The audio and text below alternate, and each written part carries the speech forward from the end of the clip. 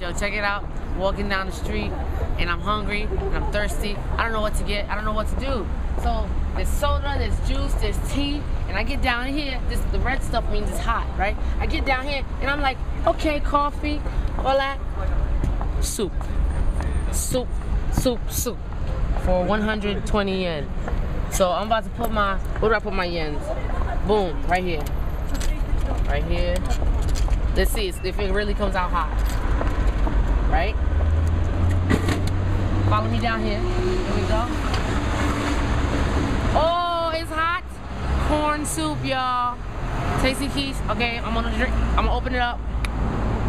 Ooh, you feel that? It's not real soup unless it goes.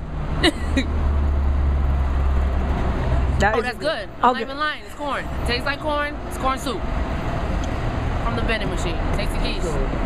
Japan. That's how we do.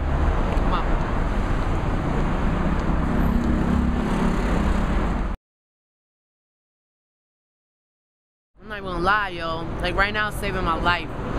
I haven't eaten breakfast yet. We just been grinding. Corn potage, 120 yen.